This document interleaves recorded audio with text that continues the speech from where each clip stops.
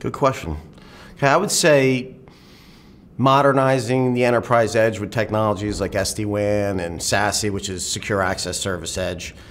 Uh, overall, I think enterprise customers with a lot of locations are are getting kind of tired of managing them autonomously, right? They want to be able to uh, configure tasks, maybe configurations like bandwidth priority restrictions. They really want to execute these things one time from one place and have these configurations move, uh, be distributed to one site or many sites at the same time with a few clicks.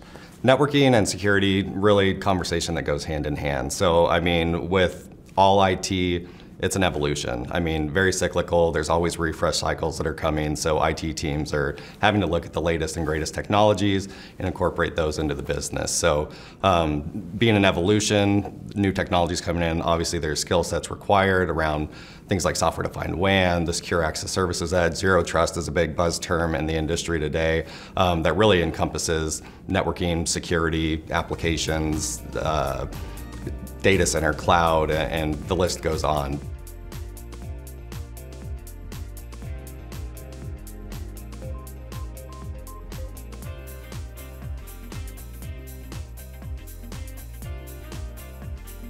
So customers that are that may have a rigid timeline or doing kind of an enterprise rollout, they're able to leverage um, alternative means of transport, say LTE or 5G, so if they have a rigid time frame for bringing up locations, they're able to, especially locations in challenging geographical areas, which you know, we've experienced before. Circuit delivery to those locations could be three to six months, but that might not align with their time frame. So these customers can now leverage something like LTE, get that site up and running, right, with technologies SD-WAN, SASE, they can get that site up and running, and then when that circuit is delivered, whenever that decides to happen, it could seamlessly integrate within the architecture without having to do some type of redesign.